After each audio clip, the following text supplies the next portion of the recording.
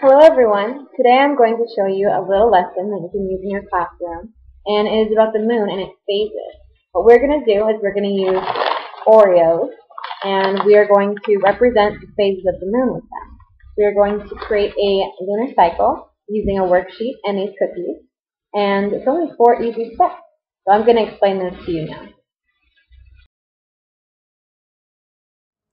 Step one of the activity is to separate the Oreos.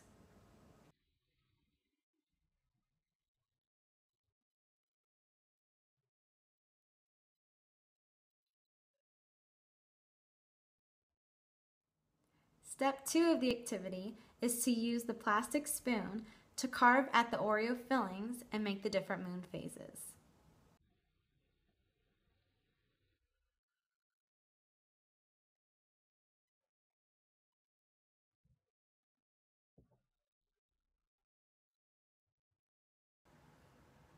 Step 3 is to place the Oreo phases you made onto the moon phase data sheet.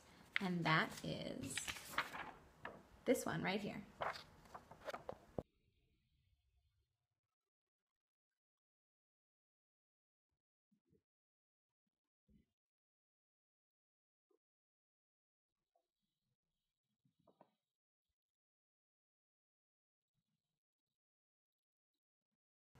Step 4.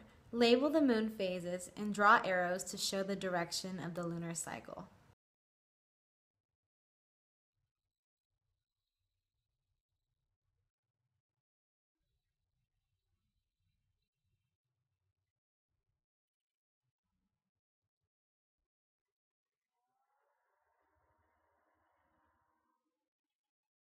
I hope you guys enjoyed this activity. It's really fun and kids really love it.